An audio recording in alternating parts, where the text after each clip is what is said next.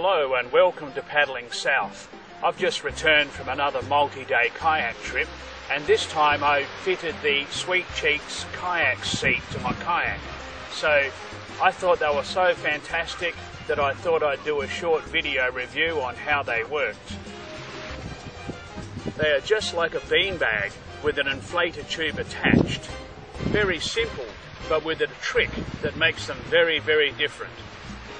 All you need to do is blow a few breaths into the inflator tube and leave the valve open.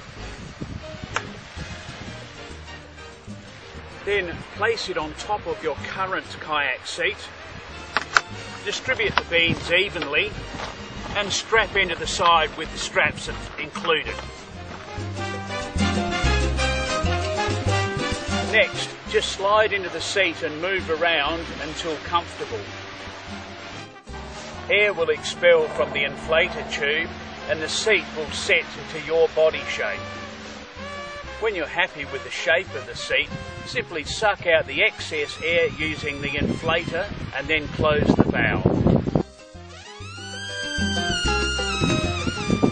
Here's what the seat looks like after moulding to your shape.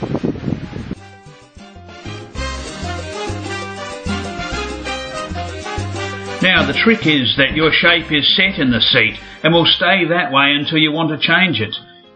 The shape will remain as long as the inflator valve is closed, but if you want to make changes, it's easy. Just repeat the process.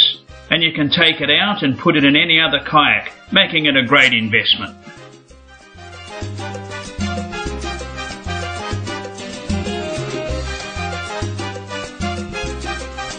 I use them in both of my sea kayaks and also in my random surf kayak. They're just fantastic. They were originally designed for whitewater kayaks. However, these days you'll find them inserted into a number of different kayaks, including racing kayaks and sea kayaks. Anyway, do your rear end a favour and check them out at your local dealer.